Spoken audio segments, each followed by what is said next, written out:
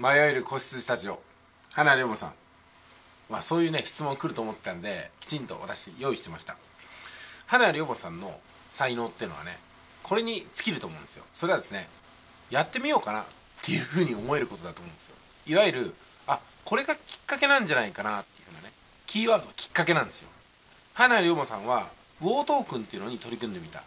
そしてそれで含み損を抱えた時に、まあ、もしくはこれ実損を抱えた時にねちょっとやってみようかなっていうところで YouTube 始めてると思うんですよね。で私がウォートークンのことを見てね花龍馬さんの動画作りました。でそれをきっかけとしてちょっとねメッセージ送ってみようかなみたいな感じで関わり始まったと思うんですよ。だからねちょっとやってみようかな。これきっかけかもしれないかなっていうふうに気づきとか発見これができるのが花龍馬さんの才能の全てだと思います。でねこっからは私の持論になってきます。まあいつも持論なんですけどもあの才能っていうのはねもうまさにねありがとうなんですよ。誰にありがとう？お母さんありがとう。俺生まれて持ったものを持ってたよ。母さん父さんがもしくはねもうお母さんですけどもお母さんが持っていたその特質を子供だから受け継いだのかもしれない。そういう意味でもありがとう。いやでももしかしたらお母さん持ってないのに俺として生まれた時にどっからか才能ってものがねなんかポロンと芽生えたんだと。ありがとう。才能はありがとうなんですよ。ね。だからみんなありがとうなんですよね。でいろんな人がちょっとこれやってみなよってきっかけを与えてくれた。こんなものがあるよってきっかけを与えてくれた。そうだなちょっと興味深いなと。やってみようかなと。苦手分野だけどちょっとやってみようかなみたいなね。周りの人がいろんなきっかけをくれたと思うんですよ。でそれをきっかけだと思ってやってみようと思える。その才能が花屋のさんに最大限の資質としてあるんじゃないかなと思うんですよ。ちょっと呼ばれたから行ってみようかなっていうので我が家にも来ていただきました。広島でセミナーがあるよ小野里さん来るよって言ってみた。これもきっかけですよね。だって知っててもやらない人がいるんですよ。それがきっかけだとかって思えない人が、うん、だからそれをそういう人はね別のとこに才能があるんでしょうね。で努力っていう言葉なんですけども努力っていうのはね才能を発掘する作業じゃないかなと思うんですよね。自分に才能がもしかしたらあるかもしれない。もしくは自分は何かの特徴を持ってるかもしれない。だからこれやってみようかなっていうふうにきっかけをつかみに行くこと。もしかしたらそれやった結果あ何でもなかったっていうことで、うん、そっちの方面に自分の能力がないっていうふうに分かるきっかけの一つになったかもしれないっていうね。そういう意味で何が手元に残されていくのかってことがまるでねその彫刻を彫るかのように分かってくると思うんですよ。自分という素材をどんどんどんどん彫っていくとたまには怪我もしますけどもあこういう形だったんだと。ここはへこんでいるんだ。ここは出っ張っているんだっていうのが見えてくると。その発掘作業才能の発掘作業がまあ努力と言えるのかなと思うんですよ。だからどっちもお互いを補填してるのかなと思いますよね。でも結局はね花井龍馬さん私たちはうまくいったことは運が良かったんですよ。本当にね。才能の賜物だとかね。努力したからできたっていうのは周りがそう思ってくれることに任しておいて私たちが思うのは運が良かった。ここまで来れて運が良かった。あ自己破産したけども元気で生きてられる。運が良かった。自己破産を受け入れてくれるそういうふうなね、えー、行政制度があった。よかった運が良かった。ね。今日も健康で元気に生きていられる。よかった運が良かった。今日も自分の思った通りの髪の色が染めれたぞ。よかった。運が良かった。YouTube 見てくれた人が今日は5人もいた。ありがとうございます。みたいな感じでね。天にありがとうですよね。もうまさに神様というかこの自然そのものにありがとうなんですよ。まあそういうことでまとめていけばいいんじゃないですかね、はい、で、えー、努力と才能の件は私なりにこういうふうにねいつもまとめてるんですけどもここからちょっと話題をね大きく変えてどうしても私が花龍馬さんに伝えてほしいこと。花龍馬さんの口から多くの方に語りかけてほしいことがあります。それはですね非常に悲しいことなんですけどもいじめにテーマですね。いじめについてです、まあ、花龍馬さんはいじめられっ子ではなくていじめっ子の方だったかもしれませんけども分かりませんけどもね。私はまあ間違いなくいじめられっ子にはなりようがないです。いじめられっ子の才能はないです全然。どちらかというといじめる方に行くんじゃないかなと思いますけどもちょっとここでね物事整理してもらいたいんですけどもどういうわけかね昔いじめられてましたって人は山ほどいるんですけども私はいじめてましたって人にはなかなか出会えないんですよ。おかしくないですか？大体多数派が少数派に対して圧力をかけることをいじめっていうわけじゃないですか。でもこれだとねいじめられっ子が多数派でいじめっ子はほとんどいないってことになっちゃうんですよ。どういう逆転現象なんですかねこれは。多勢に無勢でいじめっ子の方が少ないってことがありえるのかなと思っちゃうんですよ。まあそこはまたね置いといて今回ね話題に出したいのは北海道旭川で14歳の女の子がね小学校6年生の時から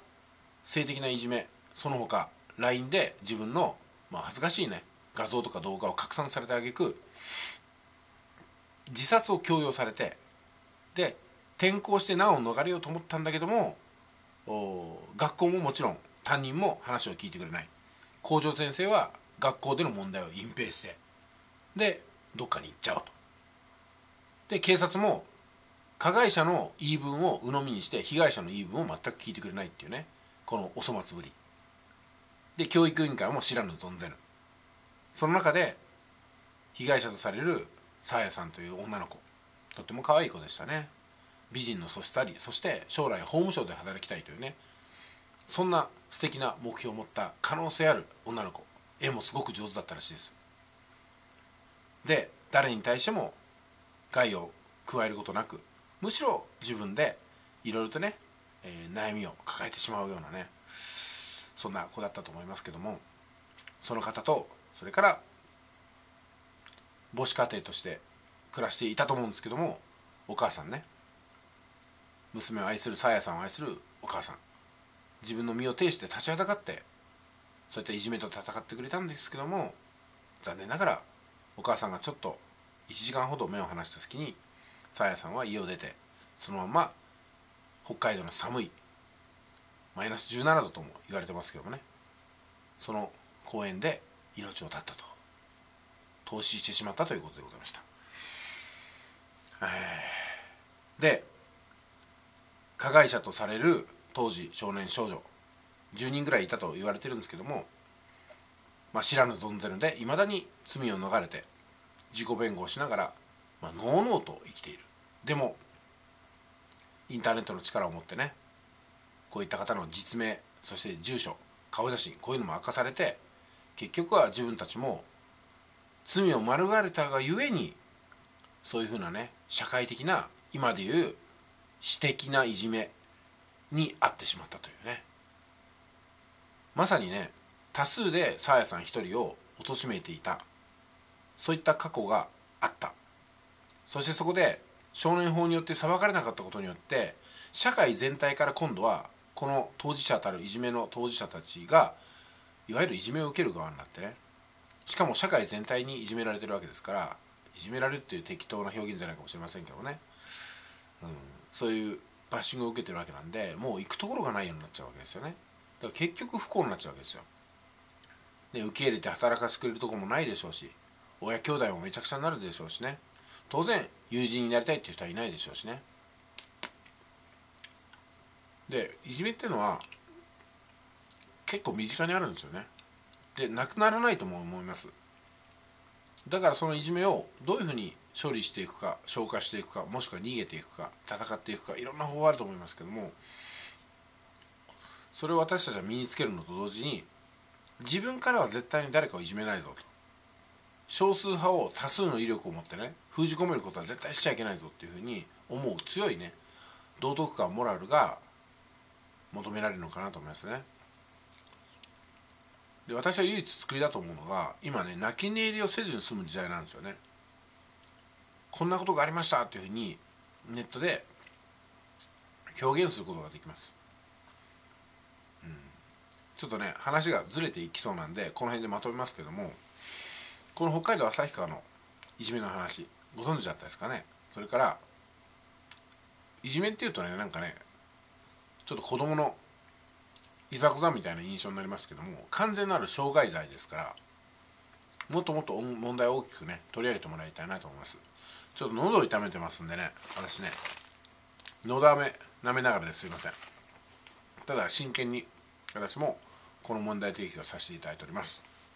花龍馬さん。北海道旭川のいじめに対して何か